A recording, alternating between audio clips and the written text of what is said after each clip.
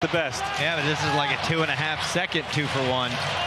Not even that great of a time.